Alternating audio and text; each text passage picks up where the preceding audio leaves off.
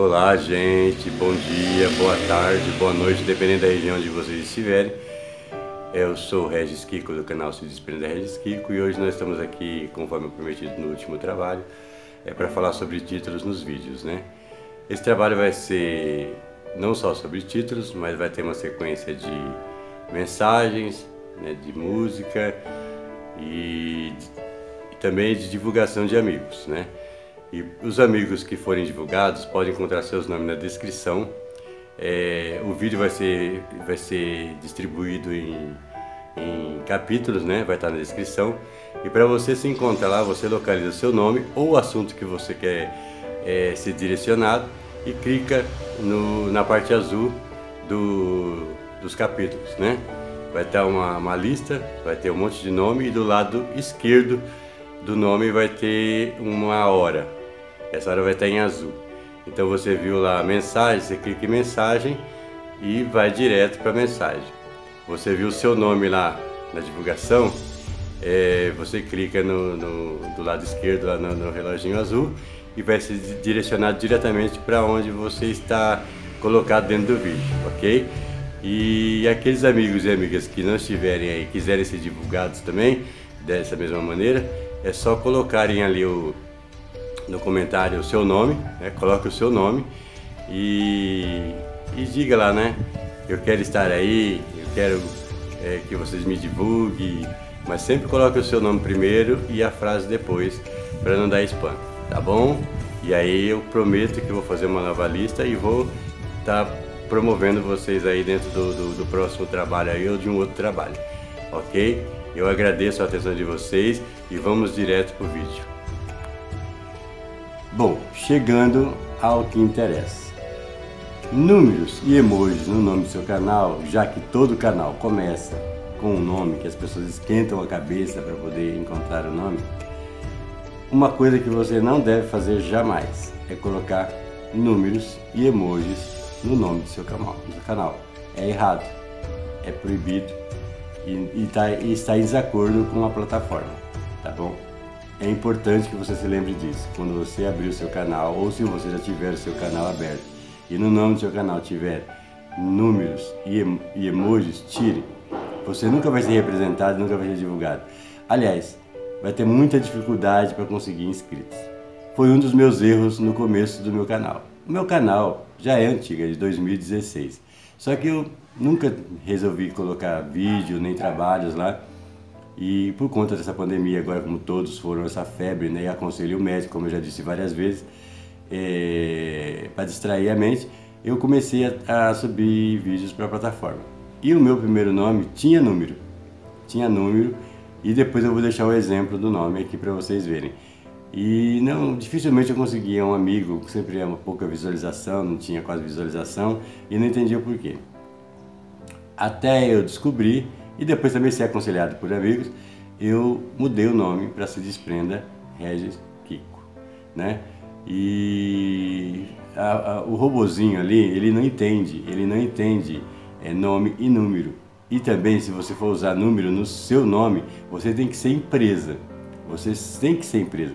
Somente empresas podem usar e devem usar, porque é, não que você não possa ter, você pode, mas é, não, não, não, é proibido, mas você pode ter, mas você não vai ter divulgação. Mas contudo é importante ressaltar que esse, esse tipo de, de, coisa de número, nomes e nomes de canal é para empresas, ou canais que são empresas, ou para empresas mesmo, certo? Vai ser a única forma de conseguir é, mais visualizações, mais retenção e distribuição do seu produto, do seu trabalho, é, do seu vídeo, seja de qualquer natureza. Uma outra coisa é números à frente do título.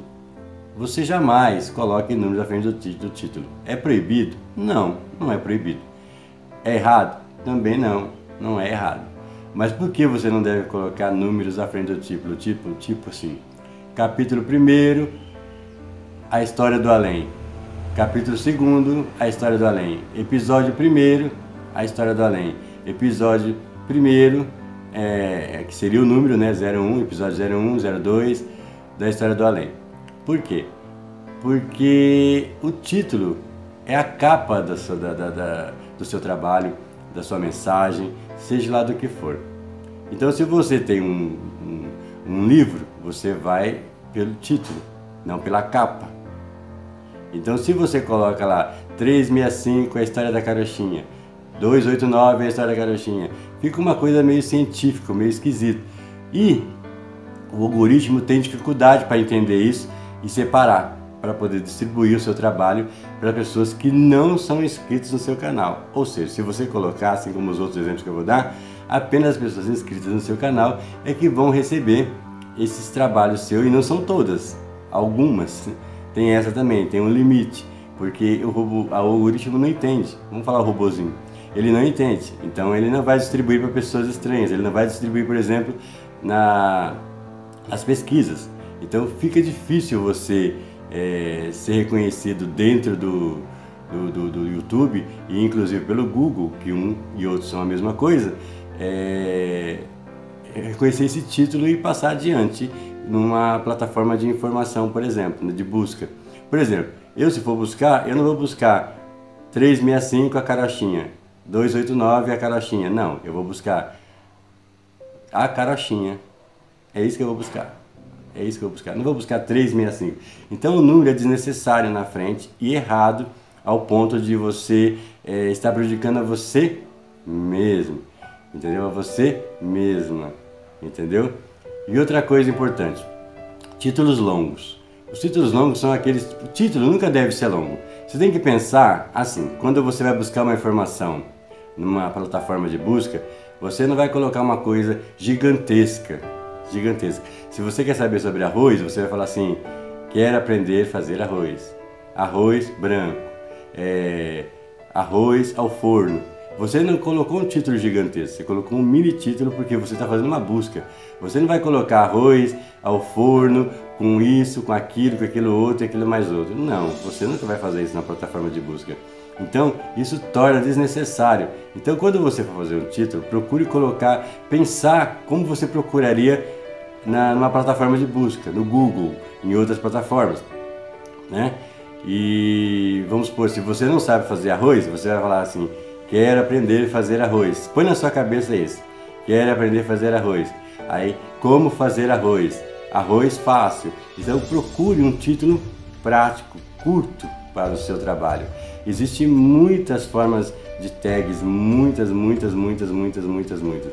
Inclusive tem, é, eu nunca fiz uso porque como meu canal é pequeno ainda não tive necessidade de fazer isso, mas existem técnicas para você buscar na, na própria plataforma de busca é, nomes para, para, para, o seu título, né?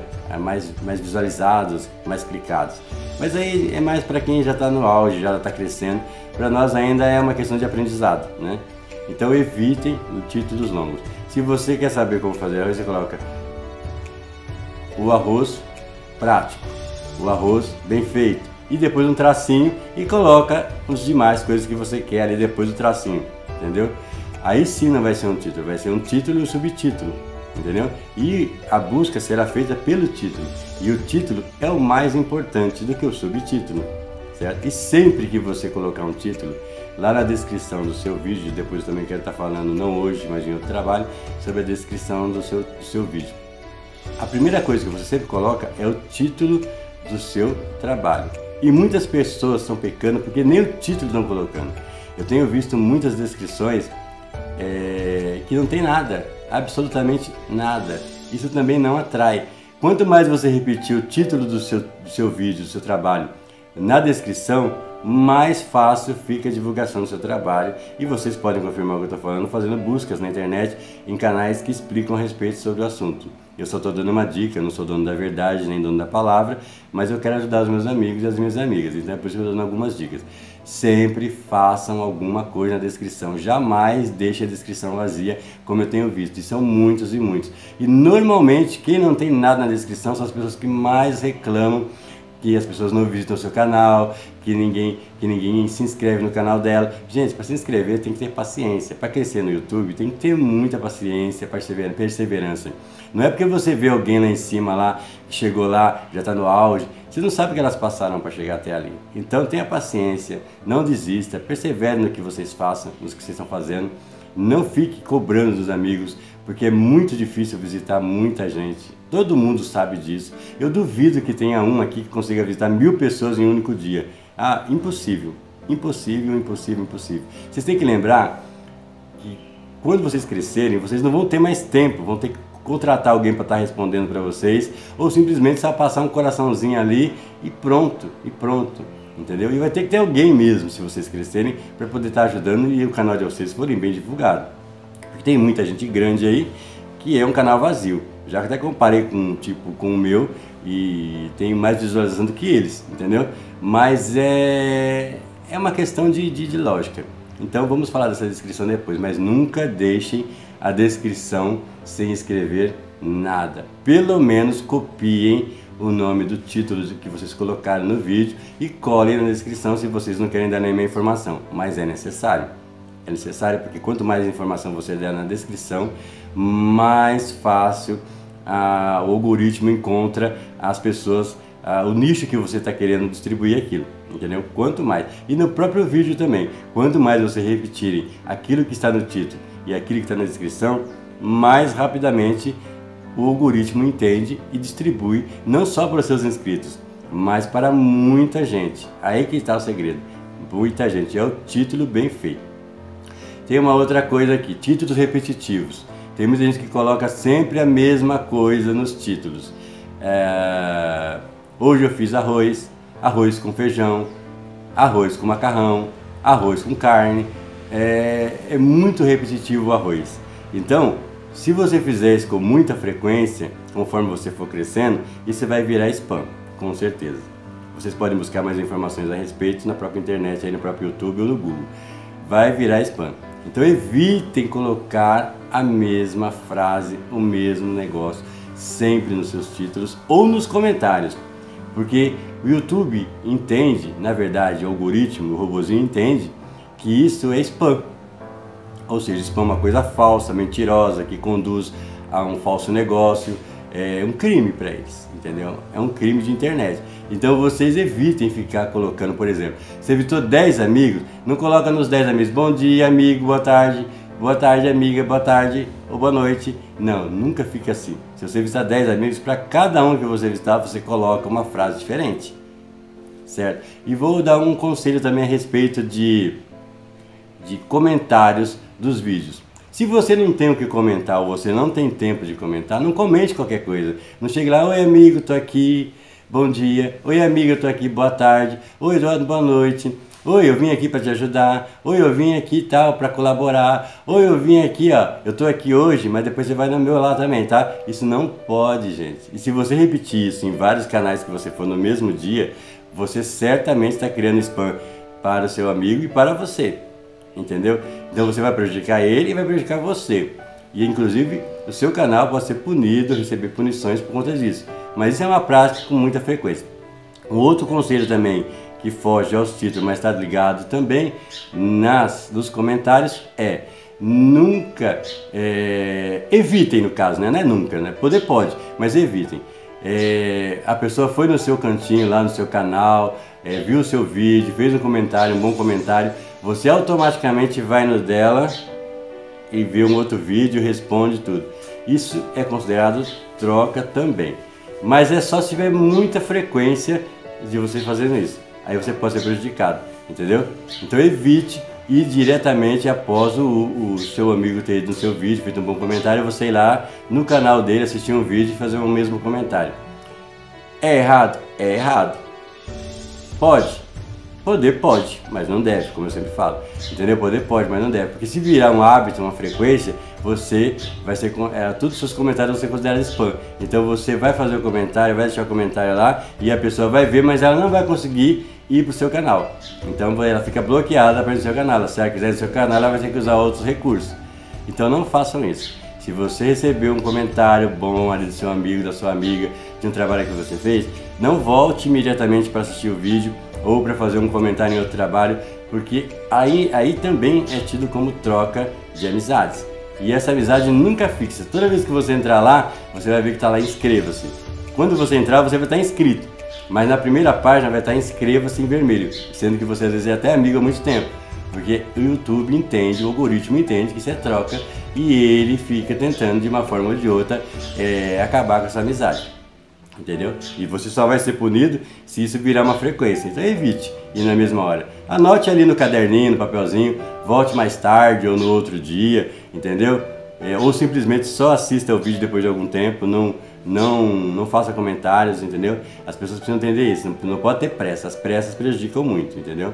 As, a pressa prejudica muito. Às vezes você está inscrito num canal, o canal vai no seu e quer exigir que você vá no mesmo dia, no outro dia. Não pode, gente, não pode. Não pode mesmo. Não pode mesmo. Até para ficar vendo vídeo e fazendo comentário, não pode. Mas eu não fugi muito do assunto, não. As, as letras em caixa alta é falta de educação, gente. Depois eu vou deixar uns prints, eu vou deixar endereço aí para vocês poderem estar tá buscando no, no, Google. Talvez a minha informação não esteja ficando bem clara, mas caixa alta são aquelas letras maiúsculas, que escreve tudo maiúsculo. Isso é erradíssimo. Pode? Pode. Deve? Não. Não. Porque no nosso, na nossa língua portuguesa e em outros países, a caixa alta ela é falta de educação. Caixa alta é uma palavra. É, é, se você escreve tudo em caixa alta, um grande número de letras, de palavras, cria dificuldade para se ler. Tanto que tem até contratos que eles criam cláusulas escrevendo em caixa alta para a pessoa não ler. Por quê? Porque é difícil de ler, entendeu? É, é gritante. É como se você estivesse babando, gritando. Eu sou rica, eu sou rica, entendeu? é gritante, é, é, é... e para muita gente nem vai no seu canal. Tem muita gente que segue bem as regras da boa educação. E como caixa alta é considerado falta de educação, e é mesmo, não estou brincando, é mesmo, escrever em caixa alta é falta de educação. Então muita gente não vai no seu canal porque só de olhar ali na, na pesquisa ou no título, ela não quer nem conhecer o resto. Ela vai achar que você é uma pessoa que é mal educada, é, vai falar de qualquer jeito. Isso é bom para os canais grandes, gente. Os canais grandes já tem um monte de gente que segue, eles não estão nem aí se o título é em caixa alta, em caixa baixa, se tem título, se não tem título. Eles só estão seguindo a pessoa que eles gostam. Mas você está começando, você tem que evitar essas coisas. Você tem que evitar essas coisas. Como eu disse, pode? Pode. Deve? Não, não deve, gente. Não deve. É igual. É é, a letra minúscula. Tudo em minúsculo. Pode? Pode. Deve? Não, gente, não deve. É uma tremenda falta de, de, de, de educação. Eu, particularmente, vejo quem escreve tudo em, em letra minúscula uma pessoa é, triste, uma pessoa que necessita de atenção, uma pessoa que está buscando é, é, a atenção das pessoas, ela anda meio deprimida, ela não, ela não sabe direito o que vai falar, Entendeu? Isso para mim, ou para qualquer outra pessoa, é dessa forma que funciona. É uma questão de psicologia e é verdade. Entendeu? É verdade. Quando eu parei de fazer isso, eu estou falando tudo isso porque eu já fiz tudo isso, entendeu? Por isso que eu estou falando. E quando eu busquei entender e compreender, eu vi que tudo isso era errado. É, letras é, todas minúsculas, letras minúsculas com emojis, os emojis. Na, na, pesquisa você coloca lá arroz e coloca um pratinho de, de arroz para fazer pesquisa. Você coloca lá feijão e coloca um pratinho de feijão. Você coloca lá cavalo e uma fotinho de cavalo na pesquisa quando você quer saber de alguma coisa. Não, gente. Você vai colocar cavalo e buscar. Pesquisar. Você vai fazer isso, clica lá para pesquisar. É errado? Não. É proibido? Também não. Você deve? Eu acredito que não. Não tem necessidade de você colocar cavalinho. Meu cavalo é bonito e coloca um cavalinho bonito. Minha filha é linda e coloca a carinha lá, um emoji, uma menina bonita. É, fulano é feio, coloca lá uma carinha feia. Hoje eu tô feliz, uma carinha feliz. Fica bonitinho? Fica. Atrapalha as visualizações? Não, não atrapalha não. Mas é uma coisa que você não deve fazer porque você não é um canal grande. Você é um canal pequeno, você está buscando chamar a atenção das pessoas. E canal grande pode tudo. Eles não precisam de divulgação. Eles têm lá 400, 500, 1 milhão de pessoas que os seguem com título, sem título, um cavalinho, sem cavalinho, gente. Aprendam isso. Aprendam isso. Quem está começando é os que mais reclamam. Nossa, eu, às vezes eu fico irado com tanta reclamação que eu vejo. Irado, mas irado no bom sentido. Porque é, é, a gente percebe o erro da pessoa, quer passar para a pessoa, mas a gente não pode, a gente não tem contato, não pode estar escrevendo nos comentários. Então por isso, a pedido de amigos, quando foi lá do, do primeiro trabalho e agora do sítio também, foi a pedido, é só um complemento. Eu resolvi fazer isso, entendeu? Eu fico irado porque eu quero falar para as pessoas e não consigo falar. Então, e, não, e, e isso foge ao meu trabalho, ao, ao, ao tipo de, de assunto que eu tenho no canal. Mas o pessoal quer. Então, se os meus inscritos querem, eu vou fazer por onde agradar os meus inscritos, porque eles me fortalecem, eles que assistem ao meus trabalhos, eles que correm para quando tem uma estreia. Então, eu procuro fazer o melhor possível para agradar essas pessoas. E eu quero passar isso para você também. Então, eu não sou dono da verdade, mas vocês podem estar procurando esta verdade no Google. Depois eu vou deixar uns prints, vou deixar na descrição eh, as páginas do Google, lá onde vocês podem estar buscando mais informações claras, né, objetivas. Né? Então, em resumo, título é coisa séria. Título para quem está começando é coisa séria. É o que vai divulgar você. Assim como você perdeu, esquentou a cabeça para montar um nome para o seu canal, que nome que eu vou dar, que nome que eu vou dar, e isso não dava, aquele não dava, aquele não dava. É, o título é a mesma coisa. Vocês têm que pensar muito bem no título, porque senão o seu canal não vai para frente. Mas não vai mesmo, não vai mesmo. Aí você pergunta, mas você é pequeno. Eu comecei em janeiro, gente. Comecei em janeiro. É, eu estou trabalhando devagar, honestamente, de, da melhor forma possível. Eu quero crescer honestamente, sem passar a perna em ninguém, sem fazer falcatrua, fazer a coisa da maneira correta, dentro dos termos que rege o YouTube, né? Então, é, o meu número de inscritos ainda não é grande, não é porque é, eu se certamente não é grande, é porque eu ainda não alcancei uns trabalhos que estourassem, né? E assim como você, mas eu estou fazendo por onde? Então busque fazer por onde. Não adianta ficar reclamando, gente. Não adianta. Se vocês cometem um monte de erro, como é que vocês querem que as pessoas acertem? E muitos trabalhos também mal feitos, de qualquer jeito, é, só para mostrar ali que tá, tá, tá fazendo, entendeu? Procure fazer umas coisas melhores umas coisas que chamam a atenção das outras pessoas, não só dos seus inscritos, entendeu? Porque os inscritos gostam de você do jeito que você é, do jeito que você apresenta. E mas você tem que chamar a atenção também daqueles que não são inscritos, não como que você vai ter mais amizades, entendeu? Então, em resumo, títulos é importante. Não façam títulos. Poder pode? Pode, mas não façam títulos com letra alta, ou melhor, com caixa alta, com caixa toda minúscula é, título sem sentido, entendeu? Você fala assim, ah, meu arroz hoje é gostoso, é, o meu feijão também é gostoso. É, isso não é título, gente, isso é o que você pensa. Põe um título, se o seu, seu, feijão é gostoso, assim, como fazer um feijão gostoso. Passa um tracinho e fala, meu feijão é uma delícia. É simples assim, título e subtítulo. Tudo que vier depois do tracinho é subtítulo. O título tem que ser curtinho, não precisa ser um título gigantesco, entendeu? Não precisa ser pequenininho, mas também precisa ser gigantesco, certo? Façam com sentido os títulos. Estudem, observem, trabalhem a, a cabeça de vocês, a mente de vocês, buscando informações no Google, buscando informações em outros canais que explicam melhor do que eu, porque isso não é minha área, eu estou tentando passar uma coisa para ajudar.